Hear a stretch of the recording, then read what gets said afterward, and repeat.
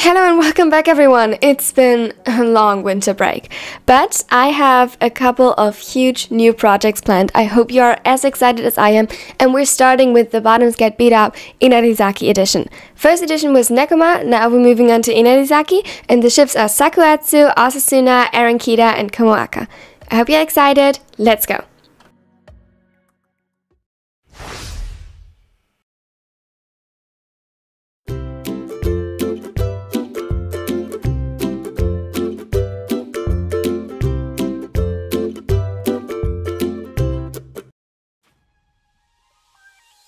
We could stop by the Onigiri Miya on our way back. Sure, I wouldn't complain about free food. Atsumu grinned as he adjusted the strap of his backpack. Kita let a small smile tuck his lips upward. He was proud of his old teammates. They had all done very well for themselves.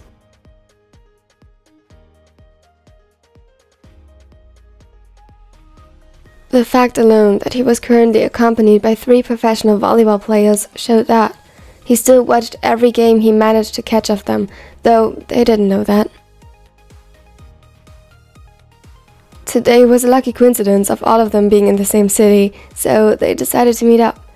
Kita had a free day, and so did Atsumu, who for part of the off-season stayed with his brother and Suna. Akagi's practice was cut short this morning due to an inspection of the gym, and so a small window of opportunity opened for them to meet again after so long.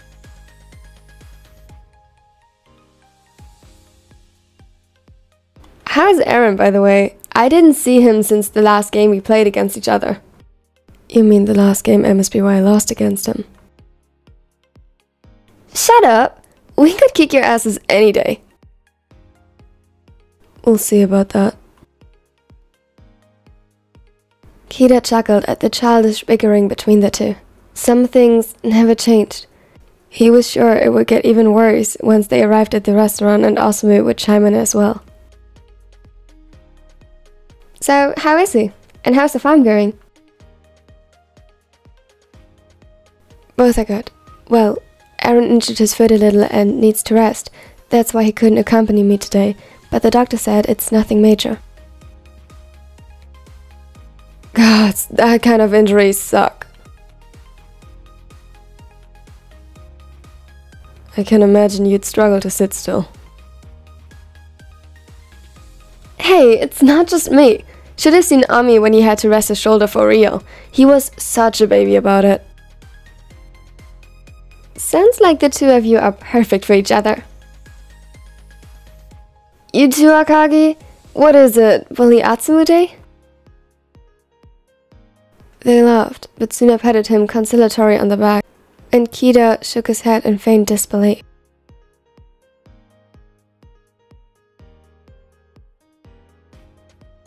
Nah, but you gotta admit, you make a bit Atsumu? As in that jerk Miya Atsumu? A guy who had been chatting with his friends not too far from them overheard and suddenly intervened. Atsumu's eyes narrowed. His face looked familiar, but he couldn't quite place it.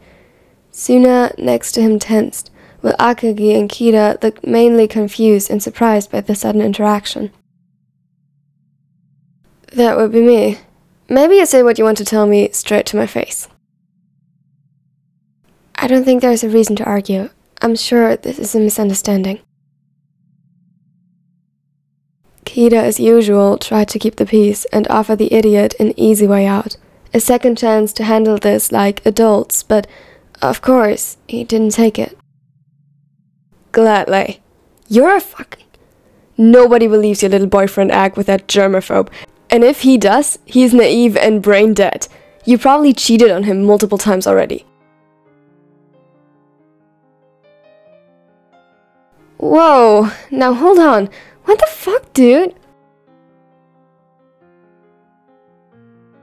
You better think twice about what you say next.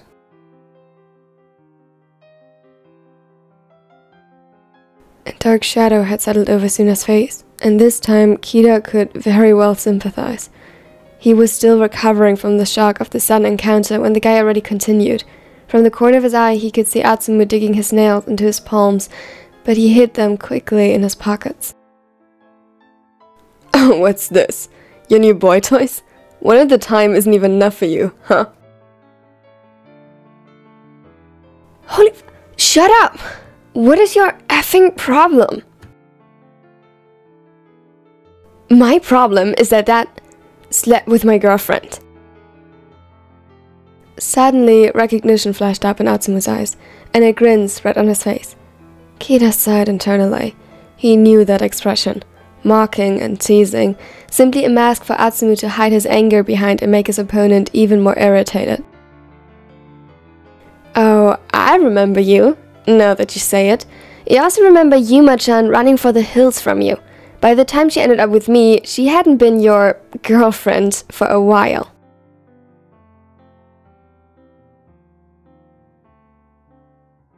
I was about to win her back, but you turned her against me. She only started dating you because she pitied you, and she immediately regretted it when it turned out that you were an outright creep. I can see why now. Kita knew that there was a time between Atsumu starting to play professionally and him dating Sakusa, in which the setter earned himself quite the playboy image. He saw nothing wrong with that, but even then, and despite Atsumu's attitude, he often questioned the validity of that portrayal. It was good publicity, but he doubted it was accurate. Yuma, however, he remembered. She was a sweet woman. Atsumu had met her at the gym, where she trained to become stronger. The woman was a force to be reckoned with in martial arts, which she practiced semi professionally. No one who saw her in the ring for the first time would guess what a kind hearted nature lay beneath. In utter irony, her biggest weakness was a lack of enforcing her own boundaries, hence, she ended up in this situation.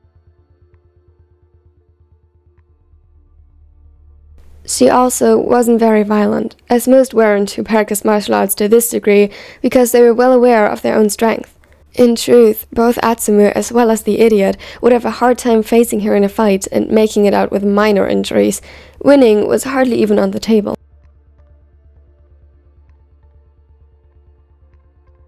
But other than her ex, Atsumu wasn't just aware of that, but admired it. He, however, was plain ignorant toward it, or he wouldn't be so persistent.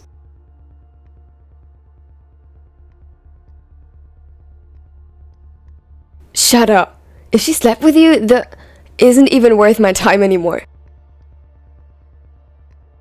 Atsumu's eyes darkened, and Kita too could feel a distinct discomfort bordering on anger rising inside him. Nonetheless, the setter's grin didn't falter. Oh? Then what's the fuss about? Obviously, there is no reason to argue then. For a moment, Kita was surprised, almost shocked that Atsumu had taken such an amicable way out. With no offense to the setter, but this seemed even now too mature for him. Then. I mean, she is way better off without you, and you can continue to be a pathetic little jerk. It's much more convincing now that she isn't there to make you look better. Really, if your goal is to appear as creepy and miserable as possible, you are doing exceptionally well for yourself. There it was. Though, well, it wasn't the approach he favored, Kita couldn't say he disagreed with Atsumu's choice. This guy had definitely crossed the line. He didn't get to enjoy Atsumu's talent for witty retorts for long, though, when suddenly, without so much as a warning, the guy hit. He really wished Yuma could have been here right now, but instead, he was left stabilizing a stumbling Atsumu while Suna, having reached his limit, stomped toward the attacker. He had never seen the middle blocker so furious before. It made him falter for a second and stare at him as he aimed to punch back. However, when he turned his attention back to Atsumu, he understood why, or at the very least, he felt the same. The blonde was frozen in shock. His response was nothing like what Kita had expected. Instead of anger or aggression, he was faced with horror. The setter didn't jump at the opportunity to defend himself and punch back. He looked like he had barely comprehended what happened, and his knees seemed to grow weak. Atsumu? Blonde flinched and his eyes hectically zeroed in on Kita, who found himself feeling as though he tried soothing an injured animal. Puzzled, he looked at him, not prepared for this kind of response. Yet he wasn't given much time to think about it. Yuma's ex hadn't been alone, and his friends had realized the fight breaking out, and instead of putting their buddy on a leash, who was way out of line, they eagerly joined the fight, giving Suna a hard time, who luckily got supported by Akagi as well.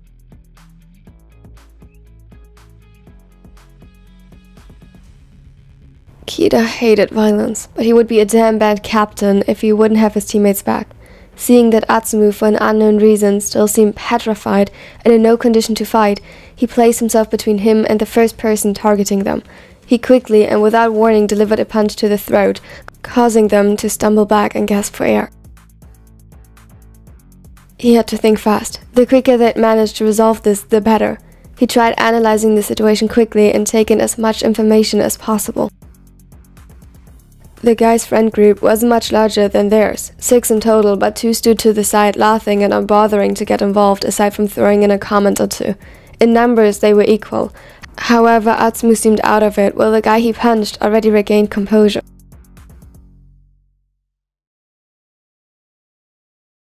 With an angry groan that sounded odd through his injured throat, he stormed toward him, seemingly neither prepared nor with a plan in mind. Kita easily stepped aside at the last minute and used his own charge to make him stumble. He was about to secure him when he was distracted by movement from the corner of his eye.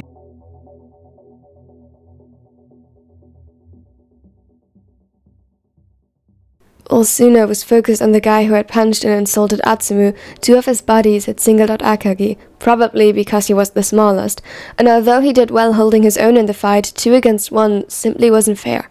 It distracted Kita long enough for the guy he had been fighting to overcome his confusion, latch onto his clothes, and push him into the ground. He swung his fist, and Kita just had enough time to turn his head and avoid getting punched in the eye. A hellish pain spread from his temple, and he gritted his teeth. He expected the next punch to follow suit and fought hard against the sudden dizziness overtaking him and regained control. But before he could land another hit, someone intervened. Atsumu had snapped out of his stupor, though his eyes were still blown wide and his hands trembling. He had caught the man's wrist and slowly began twisting it until the other yelped in pain and weakly fought against his grip. Get away from him. He couldn't hide the fear in his voice, but it was overshadowed by fury, and the guy actually let go of him, visibly scared for his wrist. Kita tried to focus his eyes on the two, but his sight got in and out of focus. He had hit him right where it hurt, and it caused his head to spin.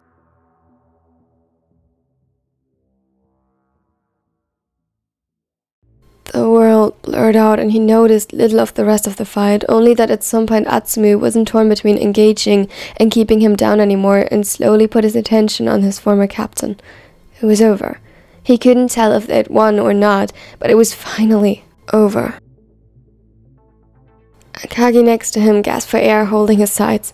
His face was twisted in pain, but he kept up strong and even forced a grin as their eyes met. Well, what now? The onigiri Miya.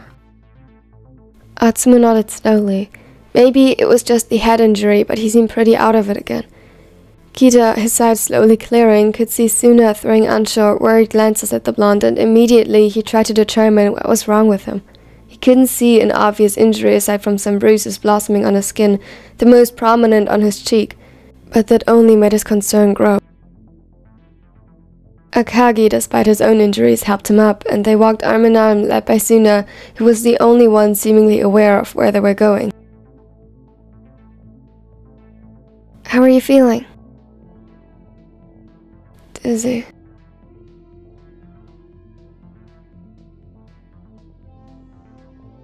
Hmm, I bet. You got hit in the head pretty hard. Yeah, I'm afraid none of us are looking too well.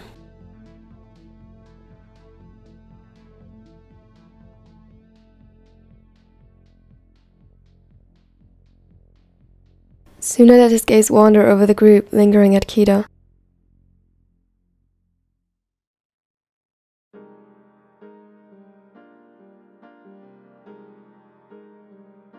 I'll call Aran to pick you up. Good idea. He didn't think he could make it home like this, not before getting a good night's sleep. what about you, Akagi? Nah, I'll be fine. It's not that bad. He visibly flinched every time he made a wrong movement, but to his credit, he could walk fairly well, and with only minimal whines of pain. Suna looked at him skeptically, but ultimately nodded. They reached the entrance to the restaurant with effort and a lot of pain groans, but they reached it nonetheless. Time to face the consequences.